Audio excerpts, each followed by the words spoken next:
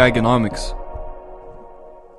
There was a man who went to a diner one time, and the waitress walked up and said, What would you like to eat? And the man said, I would like a piece of pie. And the waitress said, Oh, we have blueberry and apple pie. And the man said, I'll take blueberry, please. And the waitress said, Okay. And then she came back a moment later and said, Actually, we also have cherry pie. And the man said, Well, in that case, I'll take the apple pie. That was a joke. That was a joke by David Gordon mentioned. And it's to show the absurdity of human preferences, but also for the fact that preferences are can only be, as Murray Rothbard points out, demonstrated at the moment of action. So, as humans, we accumulate knowledge, and with the knowledge of the world that we learn, we create goals, and we act on our goals and our preferences.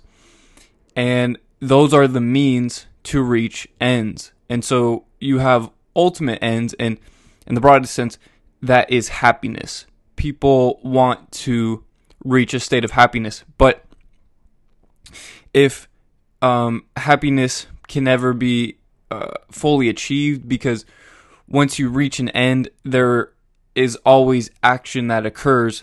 And so you'll have your next set of goals and you will use your means to reach your next goals. And so it's not that we ever reach happiness, but that happiness is the ideal and through each action we try to alleviate uh, our uneasiness in order to reach more satisfactory states of affairs and you have um uh you have your means and then you can also use um I forget what the exact term is but anyways this is just to demonstrate some of the methodology of Austrian economics that we're not here to say uh, that human beings are rational or irrational.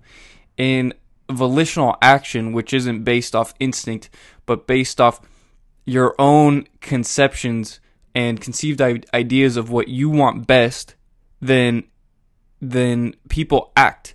And one of the main pre- uh, tenets of Austrian economics is that values are subjective to each individual. So what each individual demonstrates in their actions is their true preference for what they want in life.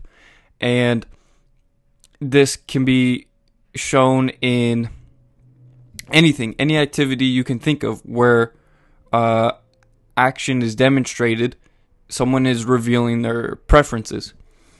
And so,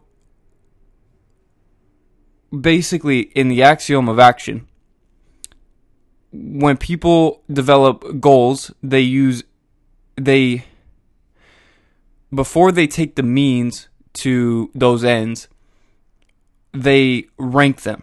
And what I want to discuss today is ordinal and cardinal ranking. And what this means is ordinal is like ordering, you're ordering in your preferences, whereas cardinal is numerical, assigning numerical value to to um, your list. So, uh, with ordinal ranking, let's take for example, um, you know, uh, blueberries, raspberries, apples, and cherries. Those are my favorite fruits. My first favorite fruit is the blueberry, and then I like apples, then cherries, then raspberries. If someone were to take one of my fruits away, I'd prefer that they take my raspberries because those are my least preferred fruit. So, in the scale of diminishing um, or in marginal utility, I get the less amount theoretically of utility from the raspberries.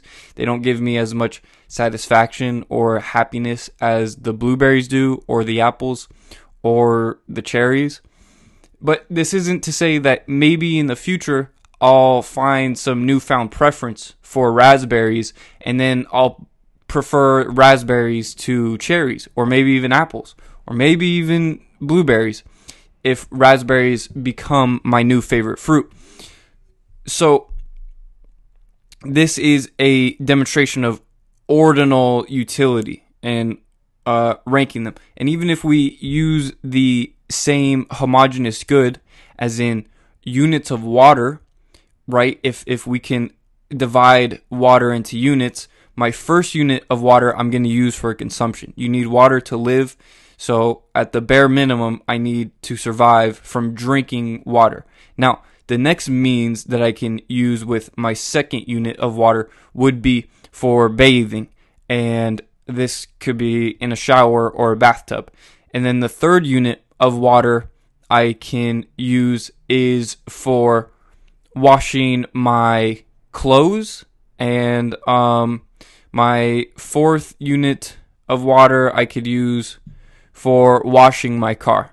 So, in the scale of diminishing marginal utility, what this means is that each additional unit of a good, uh, in this case it's a homogeneous good, water, will give me less satisfaction than the previous unit of the good.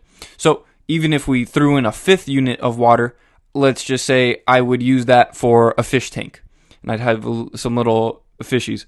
But if someone were to remove two of my units of water, uh, let's just say they get taken from me, confiscated, what I would do if if they took my first and second unit of water, I wouldn't necessarily give up drinking water and I wouldn't necessarily give up bathing.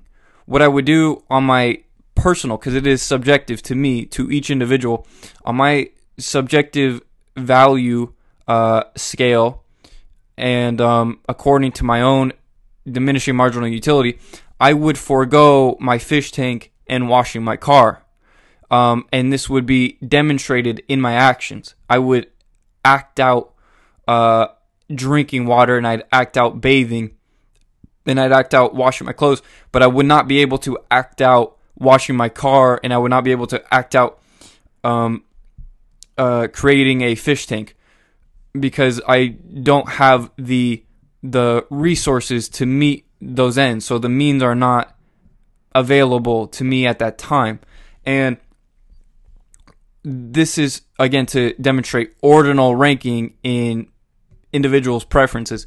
Now, cardinal ranking is where the mainstream economics um, uh, uses uh, in creating their diminishing marginal utility scales and on indifference curves, where on the x-axis you'll have the the the good itself and the amount, uh, the quantity of the good, and on the y-axis, um, you would have utils, and so this is how mainstream economists can create indifference curves uh, using utils. But if you look in the real world, this is why it is absurd, and this is why uh, the mainstream economists and the Keynesians are not um, accurate in what they teach and what they promote, because it is impossible for an individual to say that he or she loves someone else in percentages comparatively to other individuals in the world. It, it is just subjective prefer- preferences that allows someone to favor a specific individual over another individual. You would never say, I love my friend A 60% more than my friend B, and I love my friend B 40% more than my friend C. You can see the absurdity of this. But the issue is that the mainstream economists are able to use these uh, 700 level um, deri- like these types of advanced mathematics in order to construct models and what these models allow is for intervening in the economy, demonstrating that if we uh, implement tariffs here and if we um, put trade restrictions here, then we'll increase the GDP in our country. And it's very absurd. Um, now, going back to ordinal ranking, once an individual, again, we're talking only at the individual level, Austrian economics um, uh, foregoes macro economics in the sense that that we that the Austrians discuss methodological individualism. This is that individuals act and not any collective organizations act. So when you know we hear the USA invaded Iran, it's not necessarily that the country itself invaded, or if if for a better example would be the USA dropped bombs on uh, Japan.